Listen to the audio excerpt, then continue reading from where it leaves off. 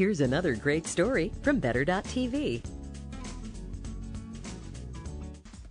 Well, even if it's just an overnight stay, you'll need at least one hot new travel bag to go. We sent Nicole out to find some. Hey, good timing. You caught me just packing. I got to get all this stuff in one of these bags because, like any girl, I have a bag for every trip.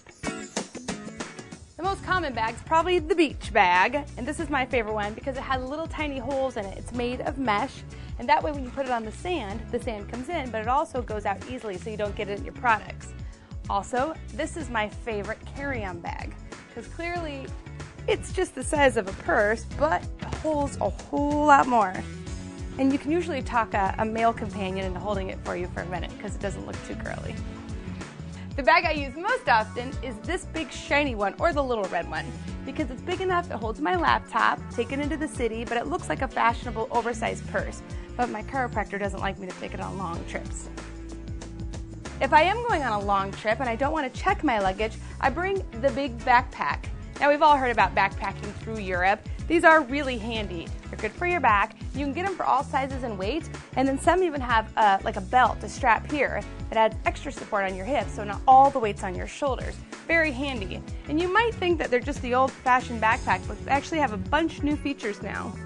One is that it holds your laptop. Sometimes I do check this bag, but it's actually as big as you can have it and still be carry-on luggage. I like it in the bright red with the polka dots because that way, if it is the checked baggage little wheel, I can tell it quickly. It doesn't get confused with the other black and brown and gray bags. These also come in handy. Maybe you do have one of those basic black bags. You can just get the brightly colored luggage tag. That way you can spot it from a mile away. This one I'm going to take shopping. It folds down, it collapses, you can put it in any existing luggage, but then when you get there, I would say if you buy too much, but who we kidding, when you buy too much, you can put it in here, it puffs all out, it has wheels and a handle, and then it becomes luggage on the go. It even has a little portable DVD player. So the only bag I don't have is one to go on the train uh, with a new boy that I met. So any excuse to go shopping, let's go get that bag.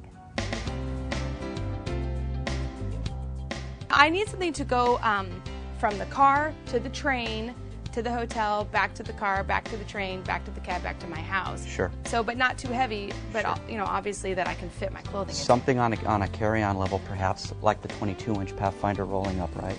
Solid leather handle, and they're using locky metal screws, which goes through this polycarbonate frame, so you don't have to worry about those handles coming out. You also have hooded zippers. It's extremely light. You have a carry grip handle down below, and the wheels are on the outside. It's a polycarbonate, and they hollow it out, and what that gives you is it gives you the durability of the frame without all the weight. And it's not too heavy. It's not too heavy, and you can literally stand Oh. on it without going through the handle system in the frame because of that durability of the material. Is that what this means? 20% lighter? 20% lighter. Man, I wish I was 20% But not- lighter. Who doesn't, right? That's right. Whether it's train, planes, or automobiles, you gotta have the right bag. Hey, it is an excuse to shop.